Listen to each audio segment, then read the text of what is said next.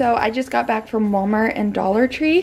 I'm going to try to do our flower boxes really cheap but look nice. I don't know. We'll see how this turns out. I'm hoping it works and looks cute and doesn't just look like gaudy and cheap. but anyways, I found all of these picks for only 97 cents.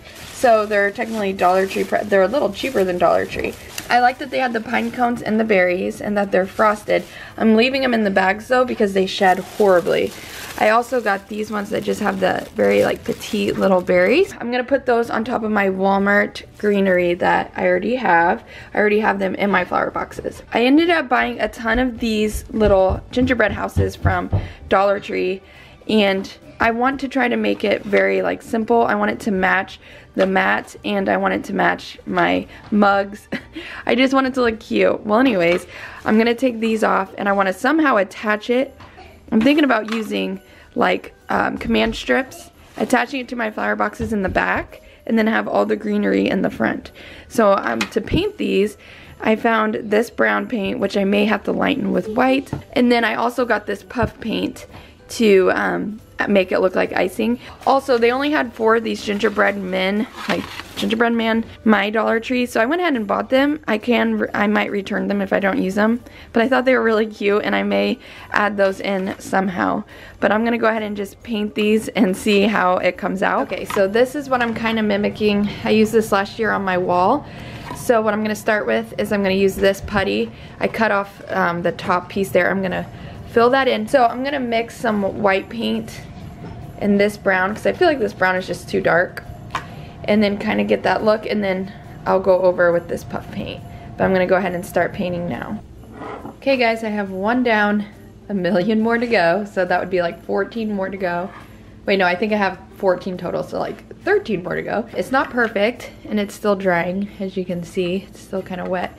But I feel like when it's outside you won't notice the imperfections as much, but I did do like a round door, a round red door to match that and my little cups that I drink out of. I don't know, I just think this will be really cute. Yeah, I can't be too perfect with it because then I'll be doing this forever. and I, like I said, it'll be outside, so I think it'll be fine.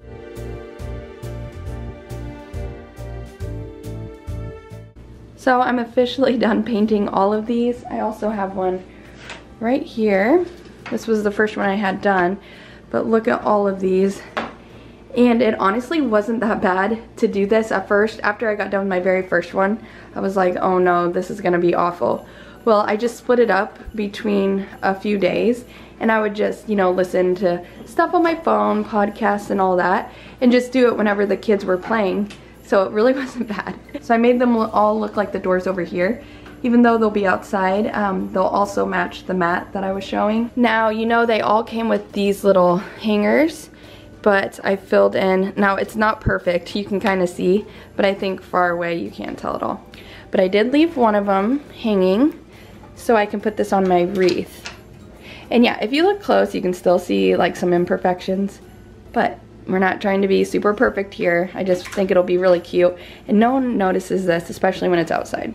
Okay guys, so this is our wreath for the front door. Just matches all the other decorations in my house. If you have watched any of my previous videos, I found this at Home Goods and I thought it was beautiful. Well anyways, I'm gonna add my not so perfect but cute gingerbread house in the middle and that way it'll tie in with my outside flower boxes. So something I'm gonna do with the flower boxes is stick the little um, houses with these command strips, not the hooks, just the strips, because they stick really good. Um, I'm probably to run out of these, so I'll just run to the store and get more to attach them to the flower box, but I'm to go ahead and get started on that.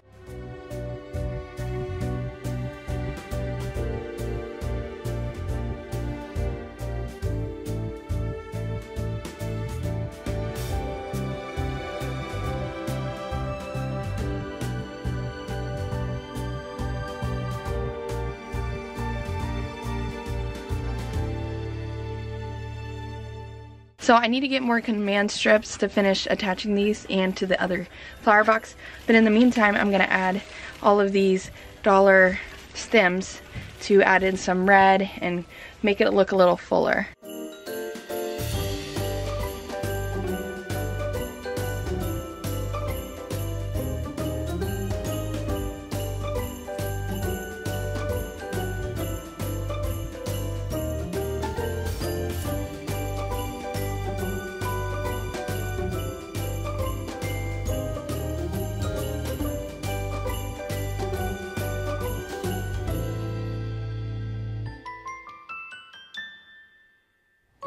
Alright guys, so the decor out here is officially done.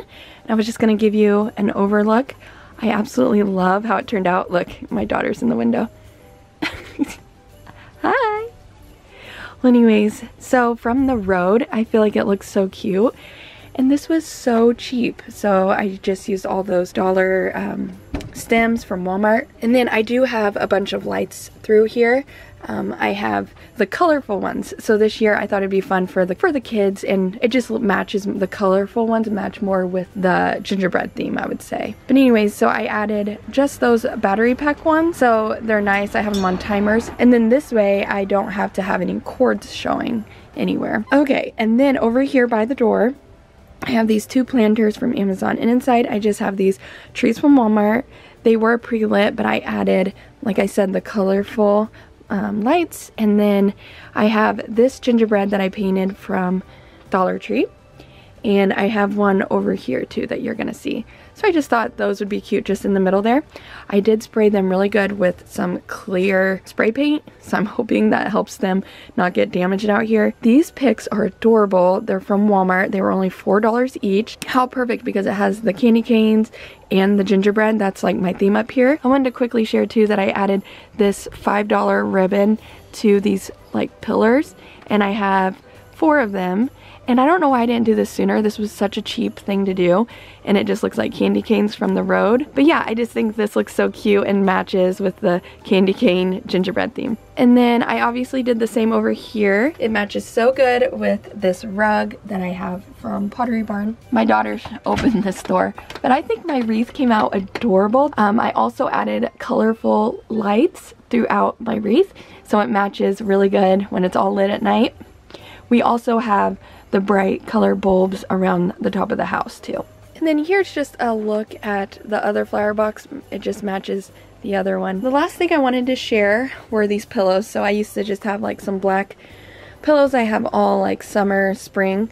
Um, but these ones I found all from, um, well, these ones back here were Walmart ones. It's those and Bright ones.